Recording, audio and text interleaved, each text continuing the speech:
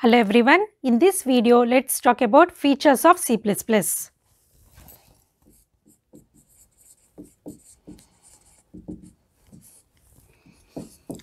So first feature is it is a simple and easy to understandable programming language. Simple and easy to understand that is the first feature.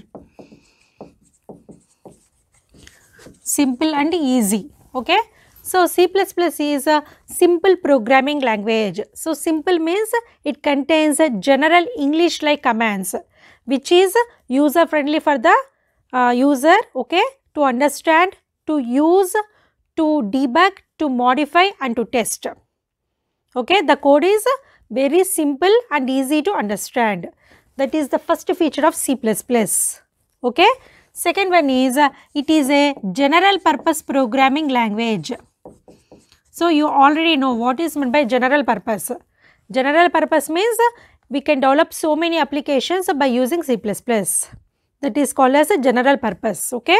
Next one is uh, it is a middle level programming language. So, C++ contains uh, both the features of uh, high plus plus uh, sorry high high level language or also low level language right? It contains both the features of high level language as well as low level language. That's why this is called as a middle level programming language okay? And next one is a c++ is a object oriented programming language. So object oriented programming language means here we this uh, uh, that means uh, this c++ contains many uh, powerful concepts like objects classes encapsulation, inheritance, polymorphism, binding, data binding. So, all these concepts we will learn in C++. So, it is called as object oriented programming language. So, whatever may be the programming language which depends upon objects that is called as object oriented programming language. So, here we will learn the most important uh, concepts that is OOPS concepts like objects, classes, encapsulation, inheritance, polymorphism and binding, data binding. Okay, all these concepts uh, we will learn in C++. Okay. Next one is uh, it is a portable language.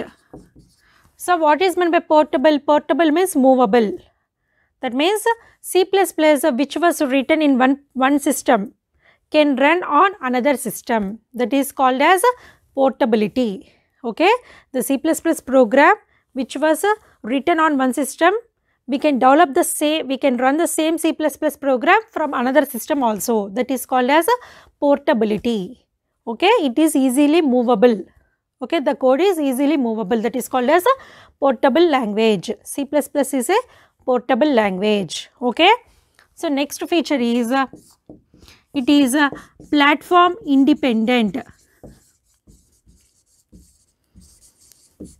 That means uh, C++ program can be uh, run on different platforms. We can develop the same C++ program in Windows operating system, in Linux operating system, in Mac operating system. That means this C++ it is a platform independent. It is not depend upon the platform. It is an independent to platform. Okay, that means you can develop the C++ program in any operating system as you want because C++ is a platform independent language okay. So, next one is a C++ is a compiler based programming language. So, we have programming languages okay based on compilers based on interpreters okay. So, C++ comes under compiler based programming language that means here the language translator is compiler okay. So, the compiler based programming languages are speed with respect to performance. Okay, that means they are very fast, the execution speed will be more compared to interpreted programming languages.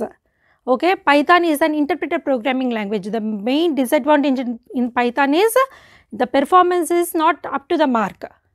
Okay, but C, C++, all these are compiler based programming languages. So, this, these languages are fast with respect to performance. Okay. Next one is uh, C++. Uh, C++ is a powerful programming language. So, why we are calling it as a powerful pr programming language means it contains powerful concepts like data types, operators, control structures, all these concepts. So, that is why we will call it as a powerful language. Okay. And next, next one is C++. C++ is a, uh, that means C++ contains a rich set of libraries.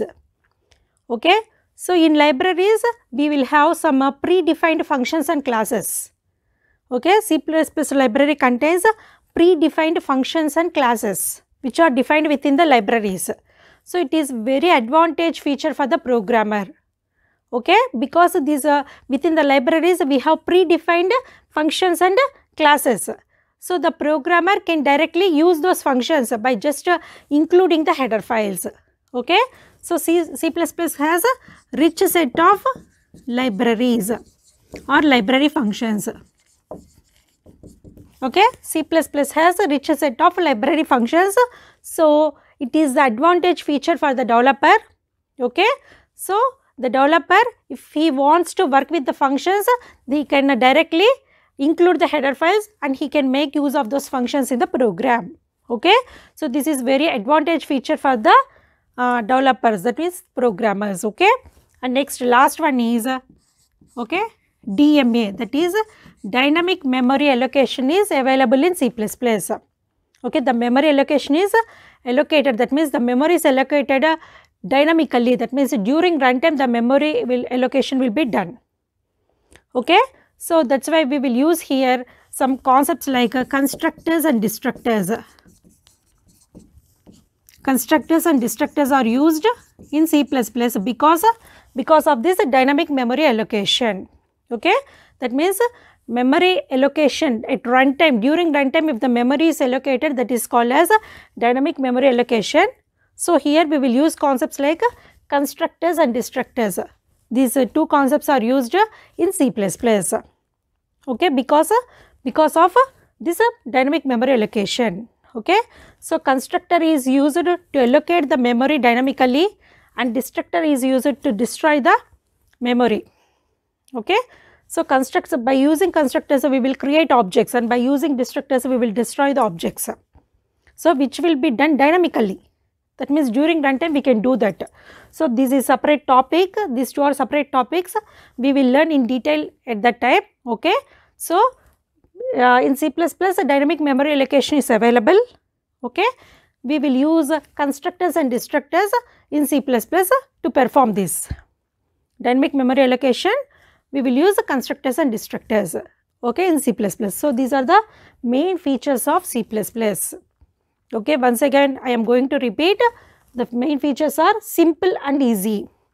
Okay. C++ is simple and easy to understand program uh, easy to understandable programming language okay so simple means it contains uh, simple english like commands the code is just like simple english like command which is easy for the user to understand and to develop okay and next one is it is a general purpose programming language as i already told that okay and next one it is a middle level programming language that means the C++ contains both high level language features as well as low level language features Okay. So, by using high level language, we will use the high level language to, to develop application software and low level languages are used to develop system software. So, C++ can develop both application software as well as a system software as it is a middle level programming language. Okay. So, the middle level programming languages contains both the features of high level as well as low level okay. So, that is why C++ uh, we will call it as a middle level programming language, okay. Next one is a object oriented programming language. So, here object oriented OOPS concepts are used. So, what are the OOPS concepts? Objects, classes, encapsulation, inheritance, polymorphism and dynamic binding. All these concepts are used in object oriented programming language. So, we will learn all these concepts in detail in later videos okay. Next one is it is portable language. So, portability means movable okay. C++ program which is written on one system can run on another system. The same code we can execute on some other system that is called as that nature is called as portability okay next one is platform independent that means we can develop we can uh, develop and we can run the c++ program in any operating system. Okay? That is called as that nature is called as a platform independent. Okay? That is machine independent operating system independent. Platform independent means we can run the c++ program in windows operating system. The same code we can run in linux operating system also. Okay? That nature is called as a platform independent. Okay? So here platform means operating system. Okay next one is uh, it is a compiler based programming language. So in c++ the language translator we are using is compiler. So as it is a compiler based programming language what is the advantage? It, the performance with respect to performance uh, the C++ program is very fast. With respect to speed okay it is very fast. And next one is it is a powerful programming language due to its rich set of operators okay data types and control structures okay? And next one is uh, it has a rich set of library functions. So within the C, C++ library we have some predefined classes and functions. Okay? So this uh, because of this uh, library function uh, it is the advantage for the developer for the programmer to develop programs. If he wants to use those library functions he can just include the header file and he can make use of those functions. Okay? As a c++ has rich set of library function it is one of the advantage feature for the developer okay and next one is uh, the memory allocation is uh, dynamic here okay it has a dynamic memory allocation so, dynamic memory allocation means the memory is allocated during runtime that is called as a dynamic memory allocation. Okay. So, here we will use some concepts like constructors and destructors in C++.